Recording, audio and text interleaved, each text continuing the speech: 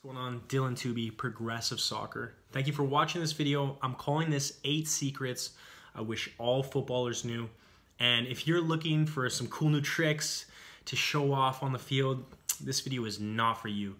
We're not even gonna see a ball. You're not even gonna see any green grass. This is all classroom. This is all life lessons I've learned playing this game. This is valuable information, real talk that I want you to take to improve your rate of development, become faster, way better, to have way more success in this game, but also improve the quality of your life, be a happier, more successful person. So if that appeals to you in any way, I want you to keep watching this video, but I need real players with real vision who want to see real results. If you want tricks and flicks, this video is not for you. This channel is not for you. You need to go somewhere else.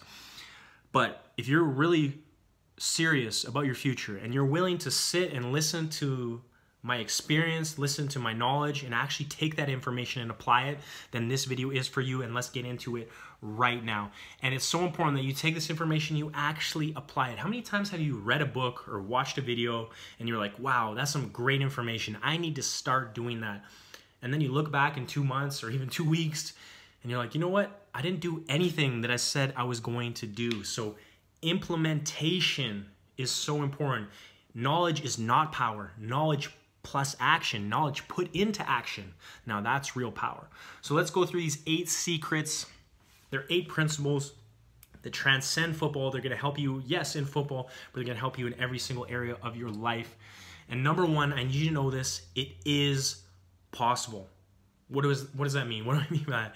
It is possible. What do you want to achieve? Well, most players, they either want to sign a professional contract, they want to earn a college scholarship, they want to play for a higher level team. And whatever else you want to achieve in this game, I want you to know that it is possible. If someone else did it, you can do it. And I need you to look at that at a very basic level. If someone else can do it, if someone else is currently doing this, why can't I do it?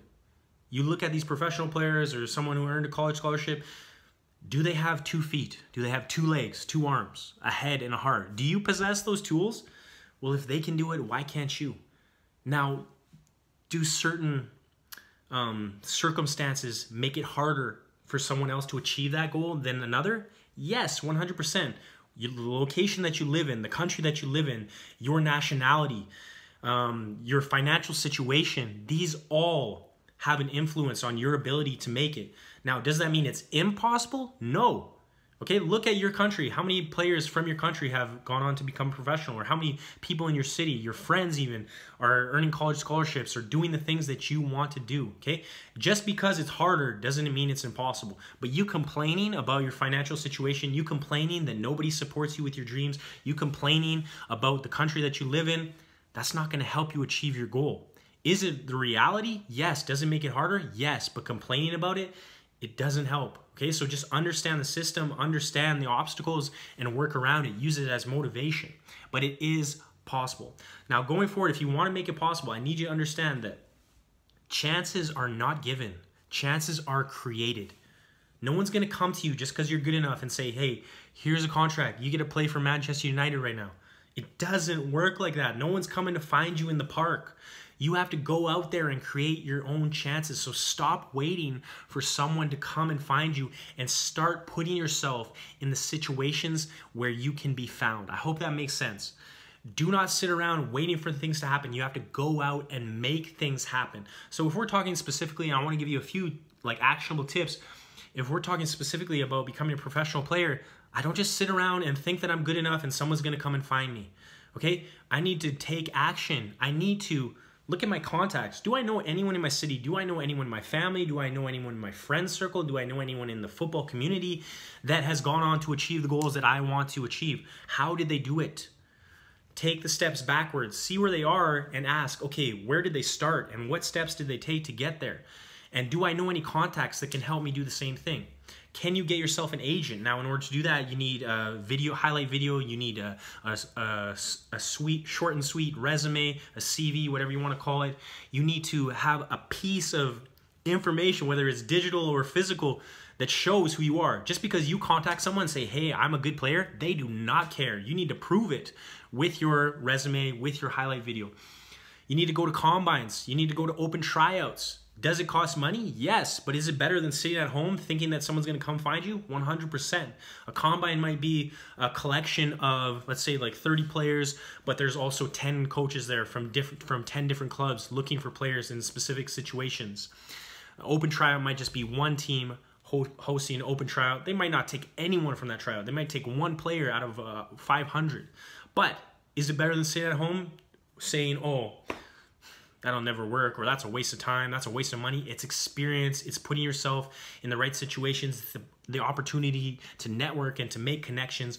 But the bottom line if you want to play professional or you want to have a college scholarship even want to play on a higher level team don't just sit there expecting the chances to come to you. Chances are not given chances are created. You create your own chances by taking action. Few players make it in this game Okay, there's millions of players around the world who want to become a professional. What makes you any different than them? It should start with here. Your mentality should make should be the difference for you. That's what needs to get you started.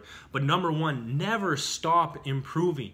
If you're of the mindset where, oh, I'm good enough to play at that level, you're not. I'm telling you right now. I need to slap you in the face through this, through this uh, video camera, through this TV screen, whatever you're watching on and I need you to wake up. If you think you're good enough, you're not. The best players in the world know that they're still not good enough. That's why they're so good. They never stop improving. They're always identifying weaknesses, they're always focusing on things that they can improve. Never stop improving. The game is so much more fun when every time you step on the field, you're better than you were last week. So if you're of the mindset of I'm good enough, you need to stop that. You're never good enough. It's okay to be happy about your accomplishments. It's okay to have self-esteem and confidence in your ability, but the best players, and you want to be one of the best players, know that they're never good enough. Good enough is not a word that they use, it's not a phrase that they use. Never stop improving. Keep taking action. Do not give up. You may need to get 100 no's before you get one yes. And if you're going to let those no's discourage you, and make you quit, then you're never going to make it. It's not possible for you because you're weak minded. Okay, you have to understand the no is part of it, and no doesn't mean never. No means not yet. No means you're not good enough yet. If you go to a tryout and you get cut, that doesn't mean you'll never be good enough. If you quit, you'll never be good enough. That means just right now, currently, you're not good enough. Do you have the ability to improve? Yes, it is possible. Number one, it is possible. It's impossible for you to achieve, or sorry, it is possible for you to achieve. It's possible for you to improve.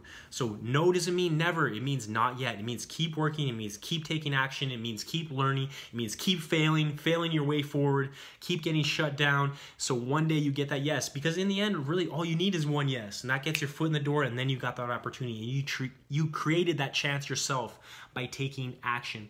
But bottom line, it's not about the goals that you achieve. It's about who you become in pursuit of those goals. And what I mean by that is like, let's say, because I know it's a scary thing to say, oh, I'm to try to be a professional, but what if it doesn't work out? Well, guess what? If it doesn't work out, you're not to regret trying. I promise you that. Because you will become such a stronger person mentally, such a better person of the because of the chances that you took because of the opportunities that you seeked the situations you put yourself in you kept trying to improve you built resilience you built persistence you built discipline you built all these life skills. You you networked you met people you went to new places you had great experiences. You will not regret trying even if you failed. At the end of our lives what do they say? The only things they regret are the things they didn't do the, the, the things they didn't try to do so i promise you if you work for it and you put all this energy and effort into it and it doesn't work out, you will not regret it. You will be happy that you did it because it made you a better person at the end of the day. So I guess I have to address like if I know all this information, why am I not a professional?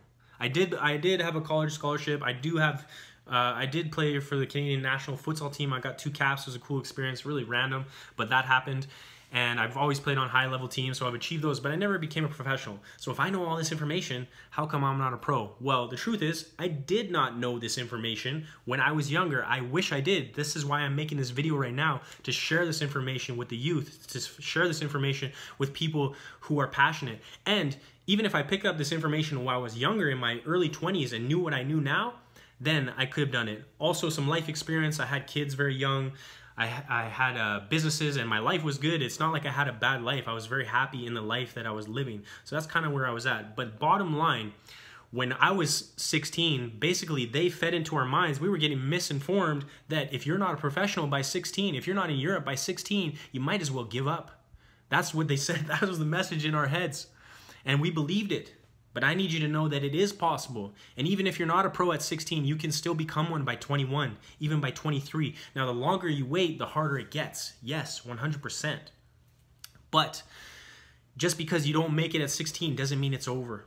It means keep trying. It means it means keep learning. And guess what? Playing professional doesn't mean that you play for Barcelona. It means you can play in Lithuania, Division 3 and still get your life paid for, still get your living paid for through the game of football. How awesome is that? Okay, so there's different levels of professional and the life experiences that come through pursuing your goals, that's the most valuable thing. Let's move on. Sorry, one more thing. I want to give you actionable steps. So with this, and you can pause this video right now if you need to, Number one, I need you to set a goal. So set a long-term goal. If you want to break it down to those three, maybe you want to play pro, maybe you want to earn a college scholarship, maybe you just want to make a higher level team in your city.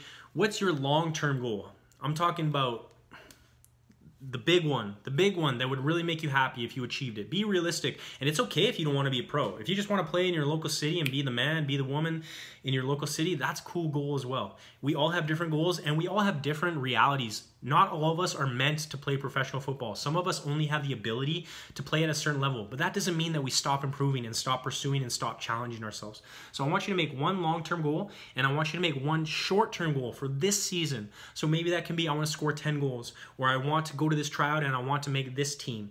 I want to I want to play I want to play every single game this season without getting injured, something like that. Make a short-term goal for this season. So one long-term goal, one short-term goal. You can pause it right now and write those down, or we can move forward.